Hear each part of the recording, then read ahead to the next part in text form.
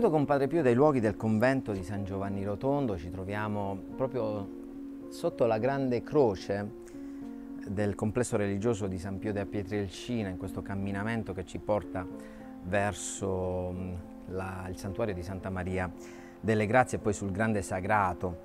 Ehm, oggi eh, qui per chiederci, a volte eh, ci imbattiamo spesso in alcuni nomi eh, di figli spirituali, in modo particolare in una cittadina, Prato.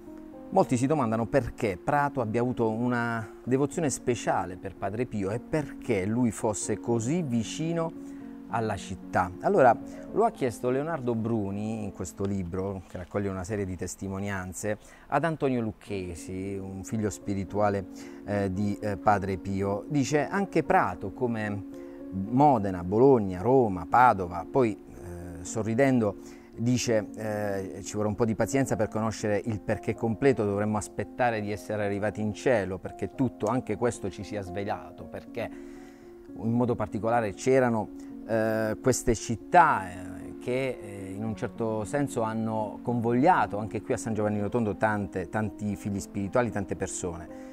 Formulare solo delle ipotesi, dice Antonio, Forse il merito di ognuna delle città può essere stato che sono arrivate da Padre Pio persone subito entrate in una particolare amicizia e soprattutto in una intimità spirituale con lui e che da queste persone poi siano scaturite moltitudini di fedeli che a loro volta parlavano, proponevano ad altri anche di seguirli. Eh, ne ho conosciute qualcuna, sacerdoti, che hanno impressionato per la fede profonda, per la devozione e per Prato, a voler cercare un, un, motivo accertabile storicamente, molto merito va dato ad una persona semplice, spontanea, che conobbe Padre Pio molti anni fa.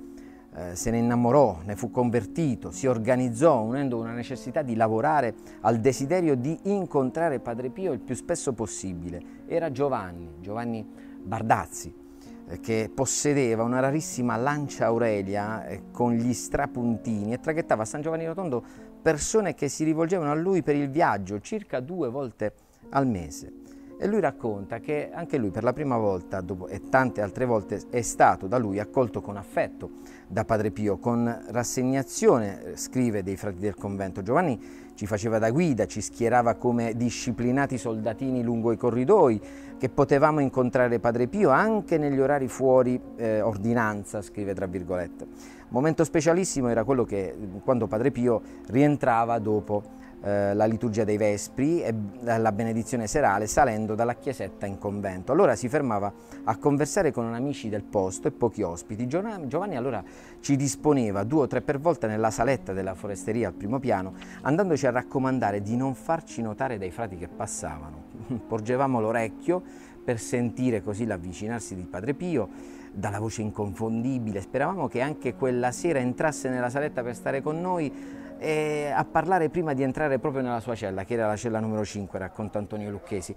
Ma quando entrava, sostenendosi al braccio di un confratello, si sedeva sulla poltroncina di Vimini accanto alla porta per riposarsi una ventina di minuti che a noi sembravano veramente un'eternità, un'eternità di gioia. Ci rendevamo conto del dono che stavamo godendo e gustando. Vedevamo Padre Pio nella sua semplicità, spesso non avevamo il coraggio anche di prendere la parola, ma ci bastava solo ascoltare la simpatica parlata di Padre Pio, sempre arguto, allegro, che girando gli occhi prima o poi inquadrava tutti, specialmente i nuovi arrivati. A volte domandava: E tu da dove vieni? E se la risposta era da Prato, padre, si rivoltava subito verso Giovanni con una battuta spiritosa. In quei momenti Padre Pio era come un amabile parroco di campagna che conversava con i suoi fedeli.